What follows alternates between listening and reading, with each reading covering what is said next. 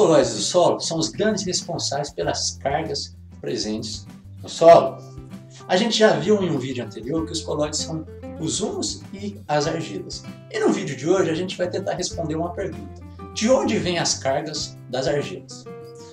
Uma carga nada mais é que uma diferença de potencial elétrico que vai se manifestar na superfície da argila devido a um desbalanço aí entre cargas positivas e negativas no interior da argila.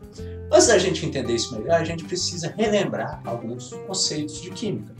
Eu vou tentar explicar de uma maneira bem simplificada, até porque eu não sou nenhum especialista em química. Vocês lembram o que é um íon? O íon nada mais é do que um átomo com cargas elétricas. Se um átomo ele perde elétrons e fica assim com carga positiva, ele é chamado de cátion. Se um átomo ele recebe elétrons e fica com carga negativa, ele é chamado de ânion.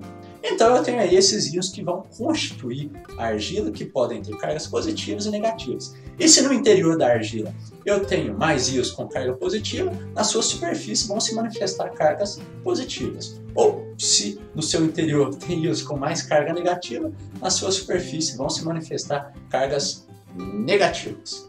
As cargas das argilas elas podem ser permanentes ou dependentes do pH. Vamos começar falando sobre as permanentes. Na maioria dos vídeos aqui do, do, canal, eu comentei aí sobre as estruturas básicas aí de formação dos minerais, dos argilominerais, que são os tetraedros de silício e os octaedros de alumínio.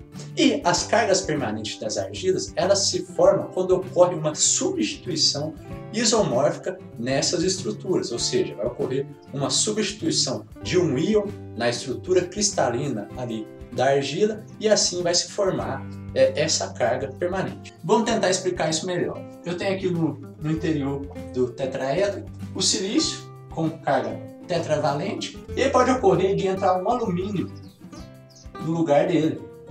Esse alumínio ele tem carga aqui, ó, trivalente. Então, 4 menos 3 vai dar menos 1.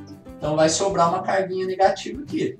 O mesmo pode acontecer no octaedro de alumínio. Pode entrar aqui no lugar desse alumínio um magnésio aqui, ó, que é 2 mais, bivalente. A gente já viu que o alumínio é tetravalente. Se entrar esse magnésio aqui, vai sobrar uma carguinha aqui negativa.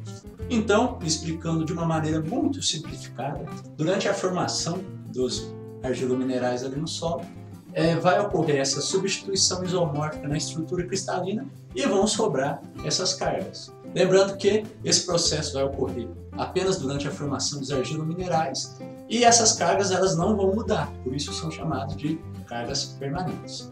E por fim, tem-se as cargas dependentes do pH, que como o próprio nome diz, são aquelas que vão variar de acordo com o pH do solo.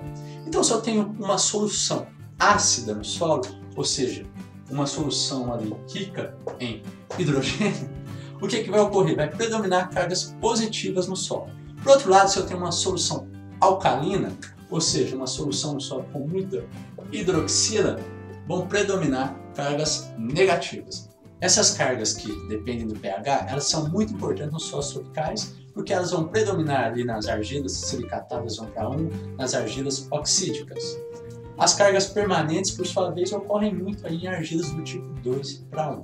Então por hoje é só, pessoal. Espero que vocês tenham entendido aí essa explicação bem simplificada aí da origem das cargas do solo, que podem ser permanentes aí por substituição isomórfica ou podem ser dependentes do pH.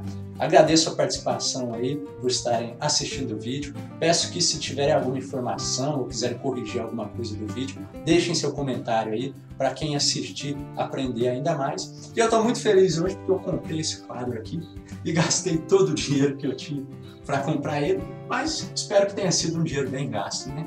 Então é isso, meus amigos. Fiquem com Deus e até o próximo vídeo.